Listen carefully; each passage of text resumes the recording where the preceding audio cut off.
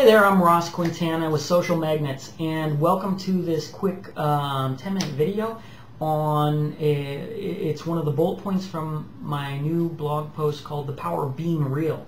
And you can see the full 45-minute um, message, links below. And uh, for people who like what they hear, they want to dig into it more, uh, and get more in depth because that's what I do. And these short videos are smaller bite-sized chunks for people who are too busy or just want a little tidbit um, or whatnot. Uh, that's fine too. I break down each of the individual points. So if you listen to the full one, um, you can come back and get additional um, deeper concepts on each individual video that I go into and so you don't have to do one or the other they all complement each other and this this one's called brands are ideas and uh, you know, the concept of the of the blog post, the power of being real, is really just kind of something that that I feel compelled as I observe marketing and how it's been done and how things are done. And there's a lot of problems and there's a lot of of dumb ways that marketing's being done where it could be done a lot smarter and and a lot of my videos are about concepts more than here's the three tactics to get yourself another 10 followers on Pinterest. Who cares? There's other people to write those type of articles. Um, I look at how things work and, and I look at trends and, and innovation and, and, and see where, you know, help people to understand more deeper what's going on so that then they can innovate upon that. So the first thing that we talk about here is brands or ideas. And um, you know, in this, what I cover is is this concept that brands, you know, we think about what is a brand, and you think, well, if you think about a brand, you know, it could be Starbucks, could be a brand, and you think about the logo, right? Because your brain has to associate things with that brand, so there's going to be some association. Um, it's going to be a collection of association. It's going to be a collection of what you see, right? Like, okay, uh, there's the logo. I can see their stores. Um, I can think in my senses of how it smells when I walk in. I can think of how everybody talks about getting to Starbucks, so you have a social aspect of it. You can think about how uh, if I feel better, if I feel like I've treated myself to go through the drive-through, I could think about um, things that they do, things they support, right? Conceptually, things that they don't support. All of these can be part of the brand.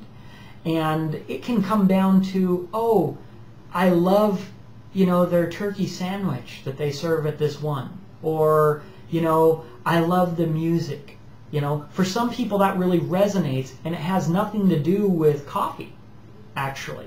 Um, there's different anchor, brand anchors that, that bring people in there. But what that whole collection of observations and interactions and relationships add up to is an idea, right? They spawn from an idea, but they also create an idea in my mind. That's the brand. So all of these different things come together.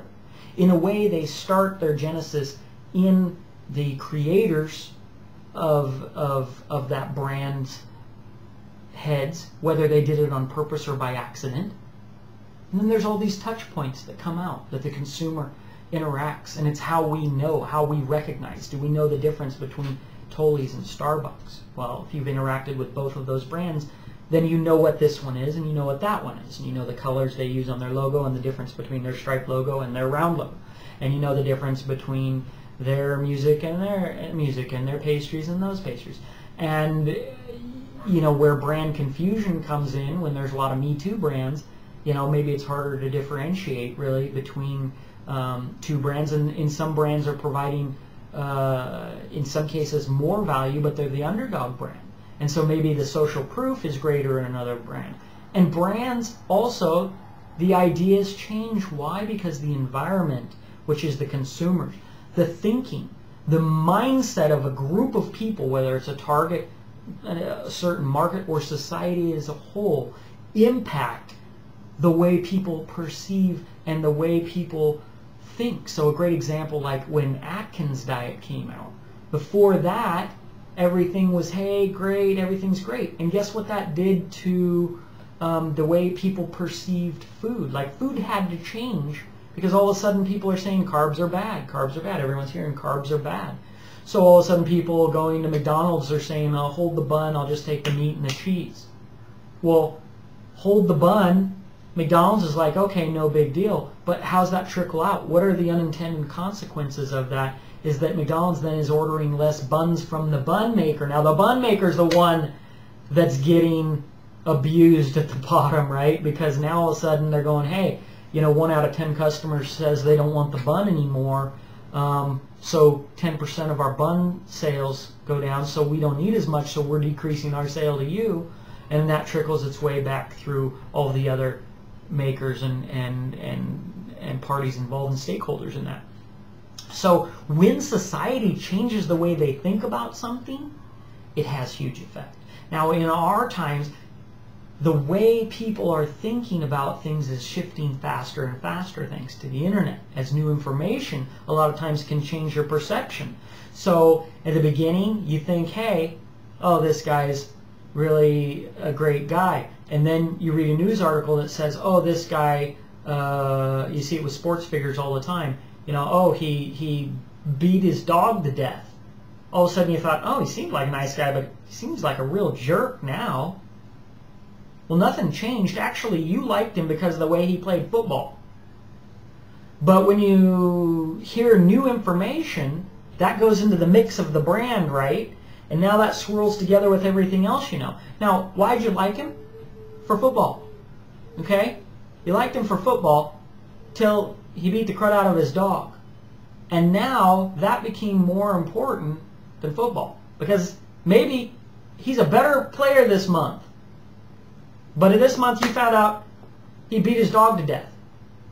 And all of a sudden, technically if you like him because of his football playing, and, and now he's actually performing better, you should like him better. Because that's why you were there in the first place. Actually, your core motivation for liking him didn't matter.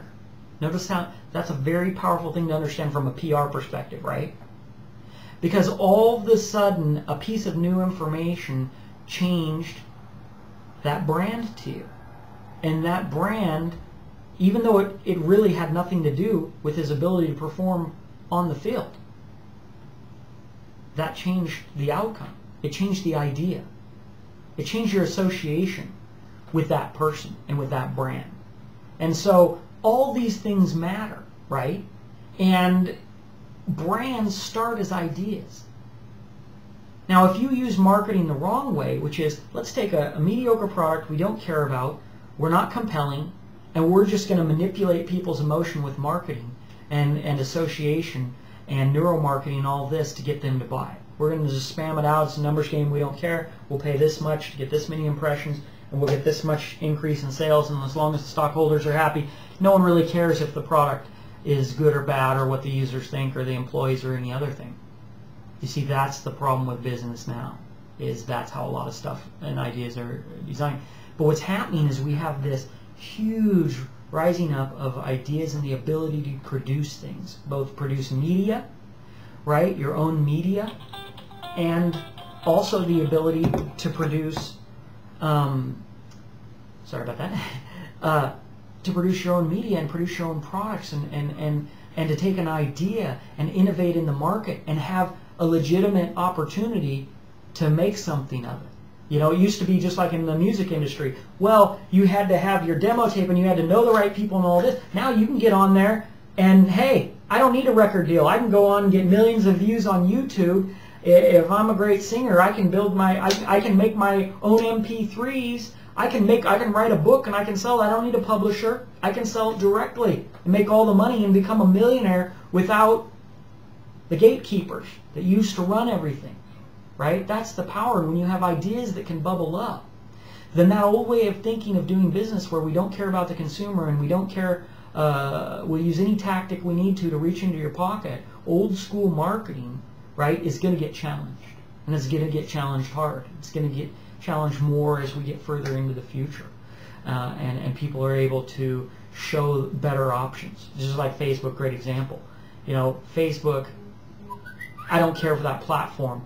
You know, to me, they broke their own platform so that you have to pay, right, to talk to people who you paid to get them to like your page, your business page, and then when you send out a message, it only goes to 2% of the people unless you pay to talk to the people who already said they wanted to hear you. It's like, to me, that's just greed. And that's just, a, that's just not caring about your customer, right? Oh, you can get a few more bucks now. But as soon as a better opportunity comes up and a better option, those business users are going to be out. They're looking, they're hoping someone comes up and clobbers Facebook and has the users that don't have to do the, the business models that way. Um, you know, eh, we've seen that before in business. That's how it works. The concept is is that your brand is an idea, and all these things that surround your idea that you are aware of and unaware of um, affect your brand in the mind of the consumer. And so, if you don't know what your big idea is, then you better. If you're running a business and you don't know your idea, you haven't sat down and really contemplated on what it is and why is it compelling and why does it matter, everything else should flow from that. And if it does, it's genuine. That's why this is part of the power of being real because when all that's authentic lining up from the from the the product itself or the service itself then everything else will flow out that's why people when they meet me you know they like me because I'm real. I, I'm genuine. If I say something, that, if they say, hey, what about this? And I say, I don't know what that is. And they go, oh, well, am I supposed to say, oh, you're a social media expert. Do I know everything? No, I don't. They say something that a lot of people know, maybe I don't know it. I don't care. If I don't know it, I say, I don't know that. Let me look it up. I'll look up and tell you 10 ways that people haven't thought about it before.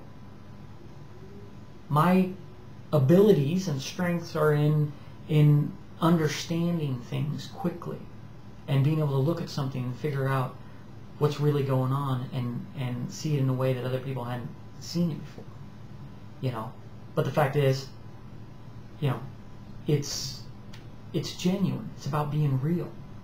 So you got to get real with the idea behind your business or service. Um, Thanks for sitting with me for 12 minutes. We'll wrap it up right there. Hit subscribe. Leave a comment. Love to hear what you have to say and what you think. of the next uh, video in this uh, series, tied, you know, go back, read the blog post, watch the full video if you're interested. Um, the next one, in the series is called Marketing to Tell Stories.